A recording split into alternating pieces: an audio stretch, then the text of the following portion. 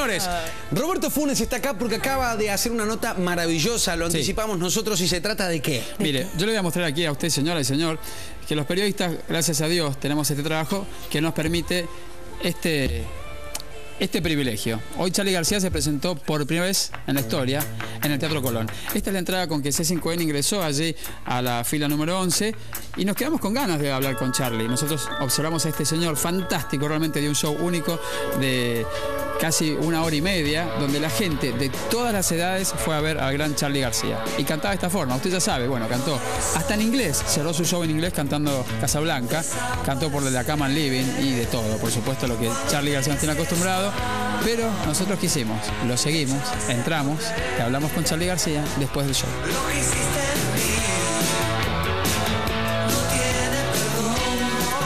Bueno, yo La cara que me pongo, cara de circunstancia. Pero es ¿me cara, no, es cara- es cara de punto suspendido. Vamos a hacer una cosa, escuchemos un poquito de A Charlie ver, García dale. y ya nos vamos metiendo en la mística del tipo, el más grande del rock nacional, el señor Charlie García.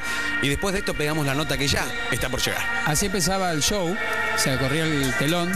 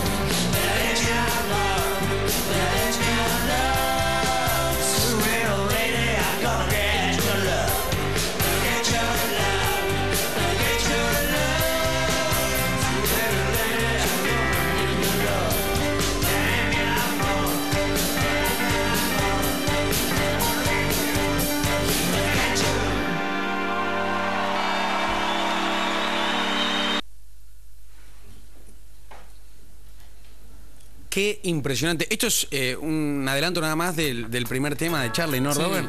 En realidad comenzó a las 20.45 y concluyó a las casi 23.10. Hubo un intervalo, por supuesto. Allí entró Charlie García. Lindísimo, porque Charlie es lindo. Sos lindo, Charlie, quiero decirte. Sos lindo, sos de lo mejor que hay en este país. Son los grandes músicos que tenemos en nuestra historia. Y lo importante es que él entró y estaba sorprendido, porque él dijo, y lo van a ver ahora en su nota, que él no tenía idea de lo que estaba pasando. Que ayer, por ejemplo, eh, no recordaba nada que no sabía ni lo que iba a hacer, que no tenía ni idea de cómo eran las letras ni nada. En su momento se dijo también que Charlie García quizás no, no se iba a dar un, un despliegue de las cosas que él hace, ¿no? ¿Se esperaban al Charlie típico? No, no, no. Ni se bajó los pantalones, ni saltó en el escenario. Está mucho mejor, Charlie García. La está gente bien, totalmente eufórica, ¿no? Sí, y además en- él lo va a decir recién en la nota, lo van a ver en la nota. Dijo, salió perfecto, no hubo un solo error, fue todo encadenado, fue algo fantástico este show de Charlie García, por primera vez en el Teatro Colón, histórico, ¿eh? la gente, los fans, porque claro, cuando uno escucha a la gente o al público que sigue a Charlie García, va desde la madre, el niño, incluso la abuela. Hasta invitó a la Presidenta de la Nación, ¿eh? Sí, sí, sí. La propia Presidenta lo había puesto en el Twitter también. Sí, sí, es algo realmente eh, único. Y la verdad que, por ejemplo, estaba el cantante, de lo- el- uno de los músicos de Rolling Stone que lo acompaña allí, al señor García, estaba Cachorro López, estaba su novia, Mecha Íñigo, y una cantidad de amigos. Y Charlie es muy querido.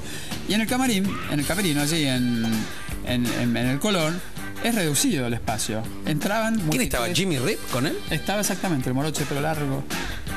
Estaba ahí, enfrente nuestro. Yo ya lo había entrevistado, vino con la hija de Roger Waters, de, del otro de los Stones, de ¿Mick Lia. No, Lia, Lia Good. Sí, Wood. exactamente. Ajá. Yo lo vi a él, este hará como 15, 20 días en el Cerro Castor, y cuando lo inte- le dije, este es, este es el que estaba, este señor estaba con la señora de- de Lia Bueno, está la nota, Robert, ¿eh? Sí, entonces yo le quiero contar a la gente que después del show nosotros esperamos y el señor Alejandro Ponlesica, este grande jockey argentino, tuvo la deferencia de guiarnos directamente a las manos de Charlie García y su divina Mecha Íñigo. Única e irrepetible, como sos vos, Mecha.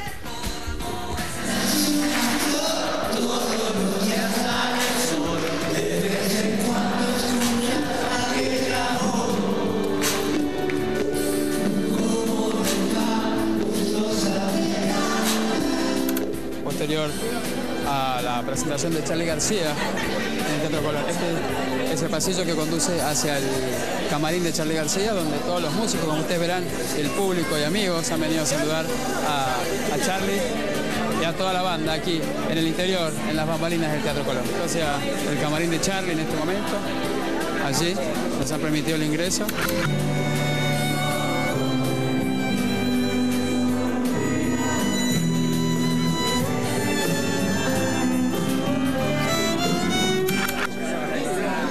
Hola, ¿cómo estás? ¿Cómo te va?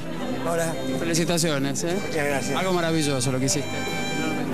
Yo me sentí muy bien y muy conectado con todo el mundo. Se cumplió lo que había prometido o lo que quería que pasara, es que hubo una, una fusión de, de distintas mentes, distintos estratos, distintos todo, y se sintió como un ser orgánico. Realmente Una reunión de amigos, Charlie, fue algo fantástico en el Colón, ¿no? Sí. Decir una cosa, no pifiamos una sola nota, No, es verdad. Salió todo perfecto. como millones de Una notas. paquetería total, además. Sí, sí, sí, realmente, o sea, no quería para nada invadir.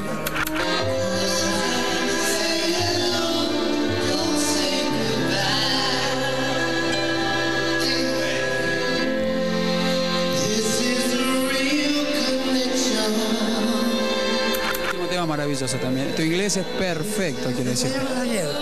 Me pareció una buena manera de cerrar. Bueno, como si fuese toda la vida, ¿no? ¿eh? Como si fuese toda la vida. Y esos temas, ¿viste? Son- El tema emotivo de Mercedes Sosa también fue fantástico. Cuchilla fue algo realmente uno de, los momentos más emotivos que vimos en la noche. Y sobre todo porque no había imagen, era solamente la voz de ella. Y, y ella y yo hacemos un- unas líneas paralelas muy buenas. ¿Cómo sigue tu fin de año? ¿Hacia dónde vas ahora? ¿Hacia dónde voy? Sabes que no sé muy bien.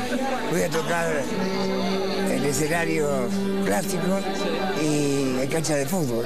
¿Estás bien? ¿Estás feliz? ¿Estás contento? ¿Qué te parece? Maravillosamente te veo. Yo no dudo eso. ¿Lo vieron, no? Muy bien. Yo vi todo sentado.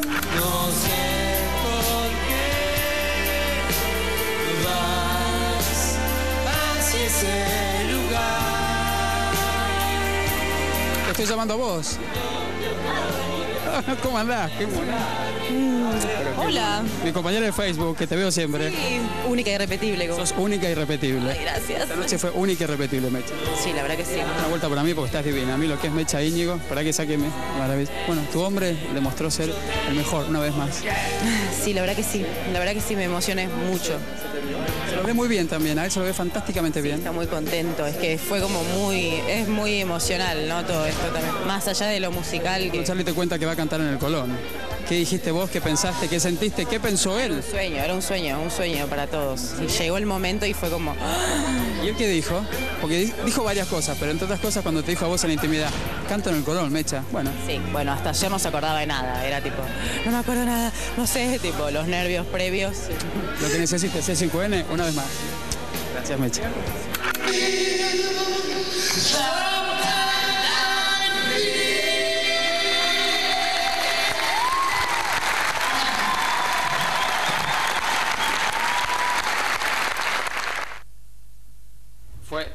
Fantástico, la verdad, estar allí con Charlie, compartir con su novia Mecha y lo bien que está él, lo feliz que se lo vio, lo pleno, lo completo. Y por sobre todas las cosas, lo agradecido que fue con el público, porque en- repitió varios bises y se esperaba, como les digo, a ese Charlie exultante, no, estaba hecho un dandy. un A ver, Robert, vos, sos- vos sos un tipo que eh, permanentemente vas al Colón por ciertos eventos. Sabemos lo- eh, el tipo de eventos que hay en el Colón. Debo decirle que Qué importante es para el rock esto, ¿no? Sí, debo decirle que me sorprendió. Sí. Que me sorprendió que Charlie García cantase en el Colón como otros tantos. Lo hizo en su momento Cerati, hizo- antes lo había hecho Spinetta y demás.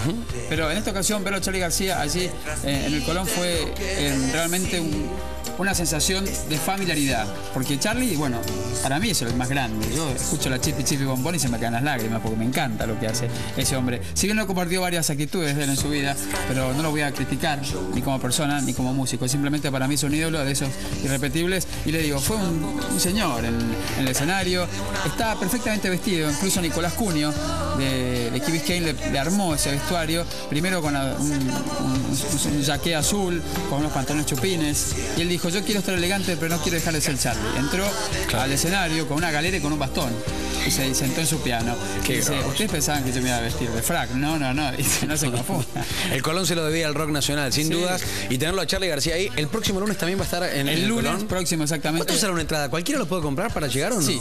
Mire, yo le digo, habían invitados, después van a ver a Fabiana Cantilo hablando y demás, un personaje bastante particular. Pero sí, las entradas se podían comprar, había gente que venía desde Santa Fe, había gente que viene de Perú, incluso están en la nota que la están editando ya porque acabamos de llegar. Y las entradas se pueden comprar a través de internet y ya estaban ya agotadas desde que se comenzó a rumorear de que, de que Charlie iba a estar allí en el Colón. La próxima fecha es el día 30, el, lunes, el lunes, perdón. Sí, 30, exactamente. 30.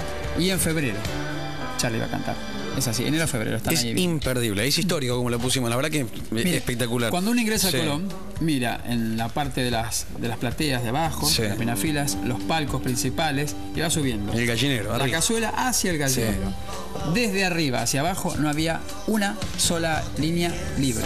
Estaban todos los asientos ocupados, incluso había gente que estaba apoyada en lo que es un famoso coliseo, usted ya sabe, como es propiamente un coliseo. Y la acústica del Colón fue algo fantástico. O sea, un alfiler estaba de más, porque no entraba.